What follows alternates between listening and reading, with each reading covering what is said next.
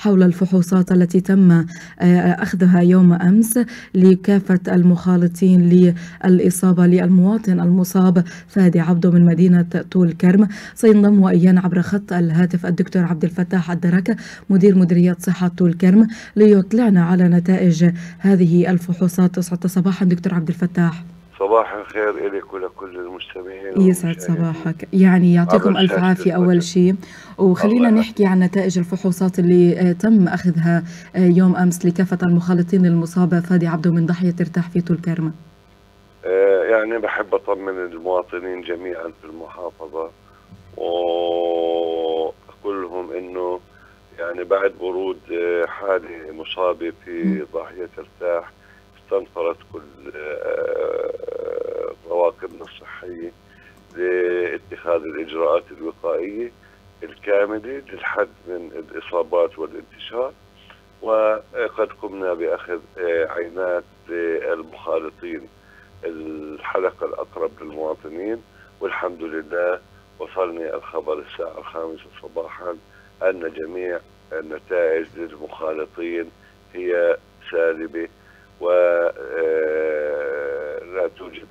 إصابة جديدة في محافظة طول كرم وكما أهيب بالمواطنين في الوقت نفسه خاصة في ضاحية ارتاح الالتزام للناس المخالطين بالحجر الصحي في المنازل لمدة 14 يوم وذلك للتأكد من سلامتهم بشكل قطعي وبشكل نهائي بإذن الله. كما أهيب بالمواطنين والجهات المؤسسات الأخرى الالتزام بتعليمات وزارة الصحة والالتزام بتعليمات عطوفة محافظ محافظة طول كرم حيث أن هذه الإجراءات تتم من أجل محاصرة هذا الوباء وفي محافظتنا الحبيبة حتى أنها تبقى تتمتع بالصحة والعافية جميعا.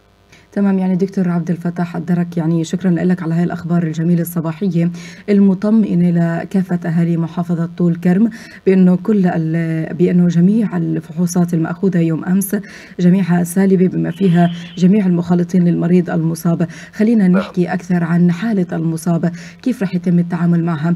كيف رح يكون الحجر الصحي عليه هو بالتحديد؟ كونه هو المصاب لغاية الآن في محافظة طول كرم.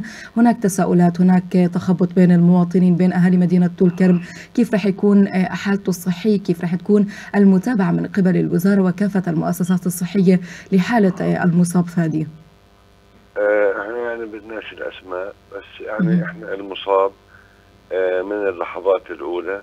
إحنا قمنا بفحصه والاطمئنان عليه وقمنا بوضعه في مركز العزل الصحي الذي أنشأناه تخصيصا لهذه الغاية اللي هو آه، في مستشفى الهلال في قسم الجراحة وضع المريض مستقر لا يعاني من أي أعراض مطلقا ونتمنى له الشفاء وطبعا يتابع من قبلنا مباشرة في طبيب متواجد معه على مدار الساعة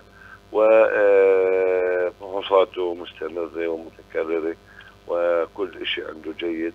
ونتمنى إنه آه، يكتسب الشفاء التام ويرجع سالم لأهله بإذن الله. إن شاء الله، كل الشكر للدكتور عبد الفتاح الدرك مدير مديرية صحة طول كرم على هاي الأنباء الصباحية المطمئنة لكافة أهالي محافظة طول كرم حول نتائج الفحوصات المأخوذة أمس بأنها جميعا سالبة بما فيها جميع المخالطين للمريض المصاب حمى الله شعبنا ووطننا من كل شر.